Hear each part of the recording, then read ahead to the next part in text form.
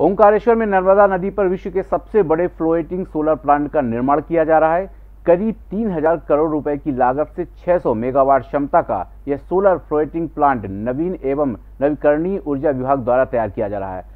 आत्मनिर्भर मध्य प्रदेश के इस महत्वाकांक्षी प्रोजेक्ट के लिए प्रदेश के नवीन एवं नवकरणीय पर्यावरण मंत्री हरदीप सिंह डंग ने तेलंगाना में हैदराबाद के समीप रामागुंडम में स्थित फ्लोटिंग सोलर प्लांट का अवलोकन किया। रामागुंडम में एनटीपीसी द्वारा स्थापित यह देश का सबसे बड़ा सोलर फ्लोटिंग प्लांट है।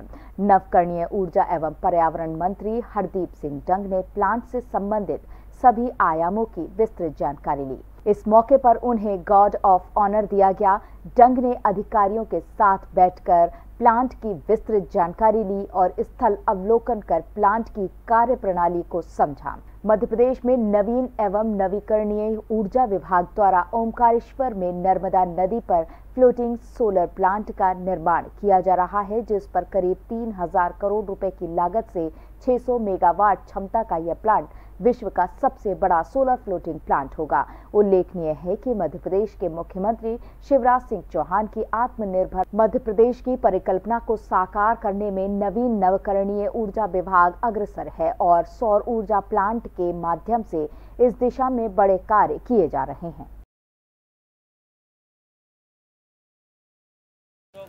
ऋषि ये पंडित जी क्या बोल रहे हैं? कह रहे हैं कि मुझे तुम्हें ज़िंदगी के सभी खतरों से बचाना है। फिर तो मेरी लिए खतरे में है। क्योंकि जो कॉकरोच से डर जाए वो मेरी क्या रक्षा करेगा? वेल कॉकरोच छोड़कर तुम्हारी पूरी लाइफ एकदम सिक्योर है। स्मार्ट लोगों की क्लियर है प्रायोरिटी बाकी सब बाद में। फॉरएवर वाले रिलेशनशिप से पहले एल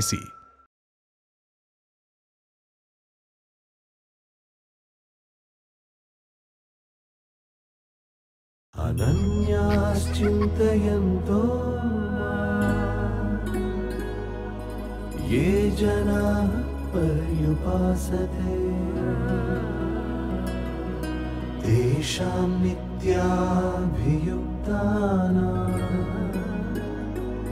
योगक्षेमं वहाम्यहम्। आपकी सुरक्षा और समृद्धि है हमारी ज़िम्मेदारी।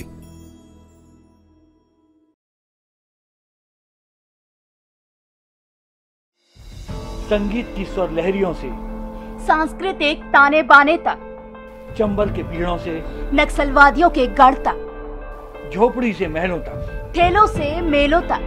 पगडंडियों से सड़कों तक। गाँव से शहरों तक। व्यापार से उद्योगों तक। राजनीति से कूटनीति तक। दखल न्यूज़। आपके हक। में